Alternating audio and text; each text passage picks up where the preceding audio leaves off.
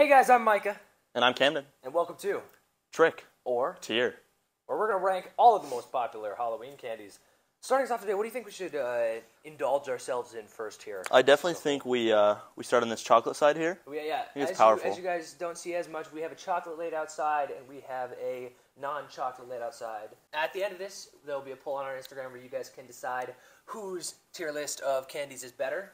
Um, obviously, it's not going to be that much of a competition, but you know we'll put it out Well. there for you. Um, so you want to start us on the chocolate side here? Sure, yeah, let me just explain the tier list real quick. Uh, obviously, our highest ranking is S, and we go down to F. Let's let's get going on these Let's get M&Ms. All right. M&Ms.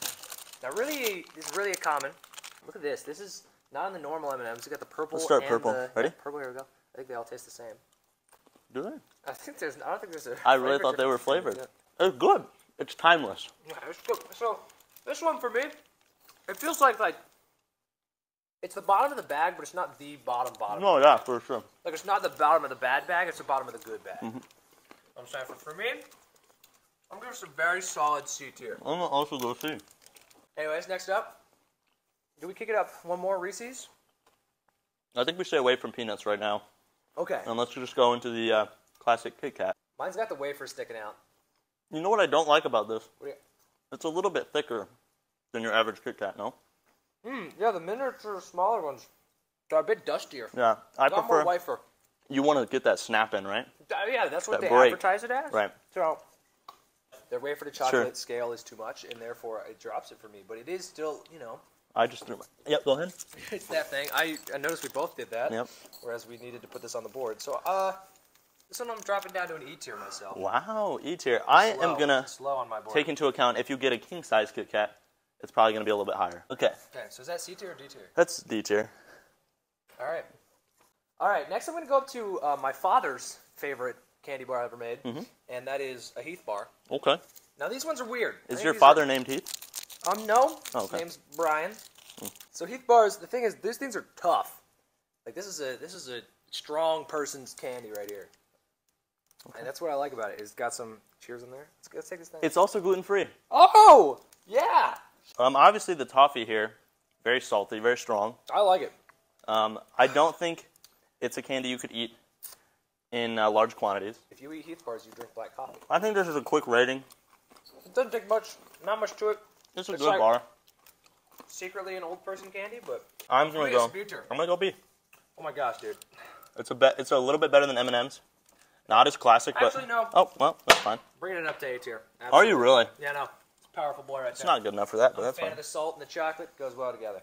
I think we move uh, to one of the worst candies ever invented, and Oh, that is no. the Whopper. Oh, you son of a gun! You don't understand how incredible this this piece of candy is right here. You need that. Go, go get it. Yeah, go get it. I think Camden. I think Camden's bad for this one. Whoppers are amazing. They're right up there next to Heath for me. I think I speak for everyone when I put it down in the F tier. I think you speak for the people who are incorrect. Actually, No, what? next candy. We move to the peanut section. There is no G tier. Okay. Ghoulish green Snickers. Now these are some glorious fun size fun. Um, now these I think are the Halloween candy in my opinion. Sure. Sure. Uh, yeah, they're classic, right? They come uh, a lot. they come a be able- lot. I don't know if Camden will be able to do this one. Camden, tell us about your weird food thing. okay, so I am unable to eat any food that's themed as I don't know what brains. You've gotta eat it. gross something Halloween. You have to eat uh, thing. So we're I'll gonna try I'll this. be right here with you. I don't know why you would change the normal Snickers. Nobody wants ghoulish green, but it's fine. It's green. It's green in there. Some ghouls. Some chocolate. Still not good at opening. Okay, here we Yep. go. Ready? Well, cheers. Yep. Oh God, why is it green? It's green in there. I'm not gonna finish that. I'll finish yours. Okay. You know, this one it rides with M&M for me. That's all I'm showing. I think Snickers and M&M. I think Snickers are a bit better than M&M. Actually, I'm gonna put those on a B tier for me. Okay. Um, gotta fix the board.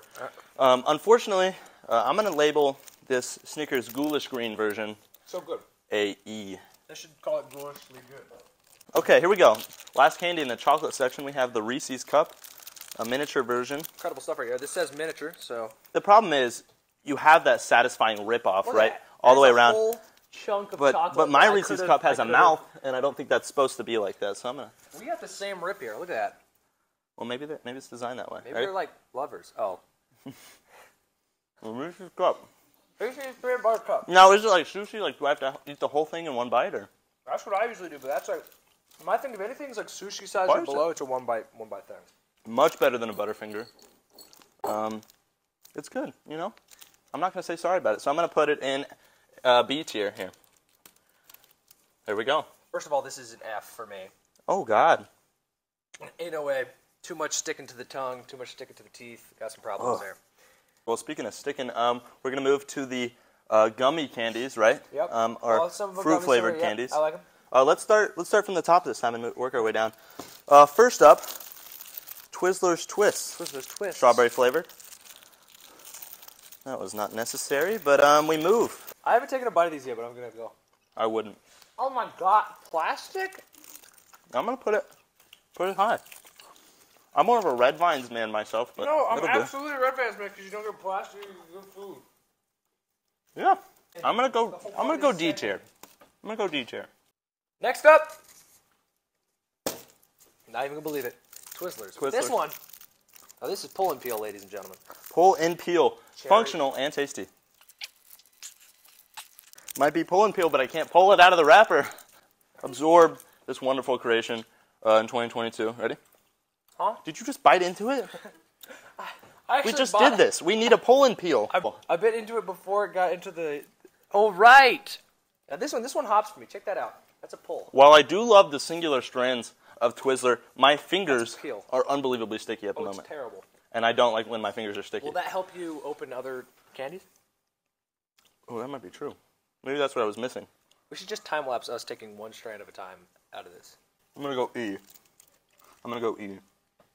Because I just prefer the regular Twizzler. Are you uh about ready to move on? D tier. Okay. You say sticky fingers. Okay. I say save for later. When you move to what I would consider my top three, um, Which one do you wanna the start heck with? is wrong with you? I say we start with Starburst. Starburst. Star, Unbelievably juicy. absolutely incredible. It's like the yep. I already know before this fruit punch. I know where this is going. It's an A tier candy. That should be a tier for me. I'm not quite high. I'm not quite A. Oh, well, you get the point. Got to save the best for last.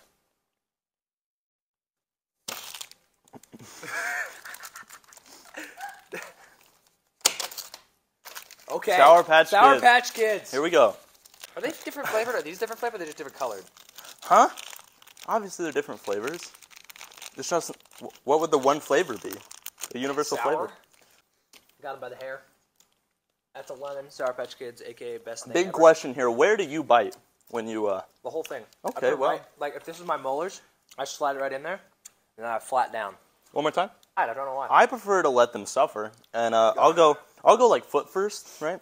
oh, so you're like gingerbread man in this Right. man, like from Shrek.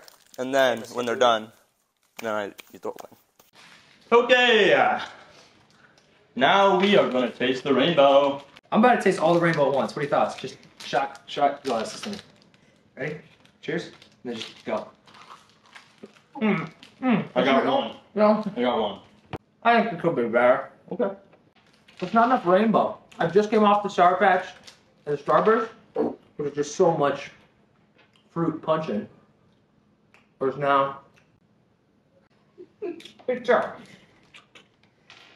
Big turn. Mm. Ladies and gentlemen, I'd like to make an announcement. The best candy. Skittles. That's so not true. In fact, in order to properly portray my opinions, we're going extra Whopper simply because they're that good. I think we know who to vote for. Exactly. Ladies and gentlemen, find that Instagram.